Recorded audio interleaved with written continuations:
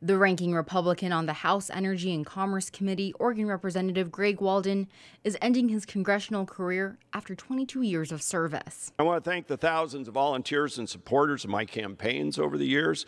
We did it together, and I'd like to believe we did it for the right reasons to leave our state and to leave our country better places than we found them. Walden made one of his priorities during his time in Congress passing legislation to help active military and veterans. We helped save the Veterans Facility in White City.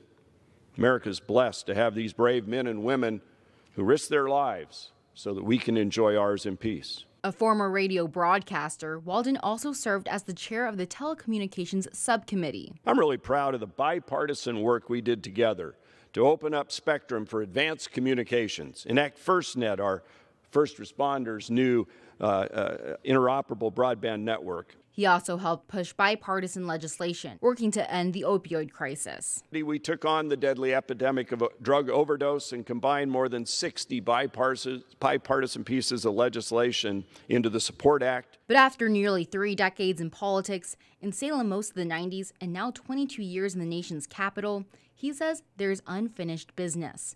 It's also an issue he's worked at tirelessly. My one regret is we could never find the key to unlocking a durable and fair solution to the water crisis in the Klamath Basin that could also pass in the Congress. Walden's power grew in the last decade. He served as the chairman of the National Republican Congressional Committee, the GOP's campaign arm in the House of Representatives for two terms. As our nation's politics have grown more partisan in recent years, Walden's tried to stay above the fray while still fighting for Oregon, most recently for FEMA aid after the Almeda fire. I leave on my own terms, feeling good about that which I have helped to improve the lives of those who entrusted me election after election, and I leave feeling positive about the ability to get good policy done right here in the U.S. House of Representatives. In Medford, Katie Streit, Fox 26 News.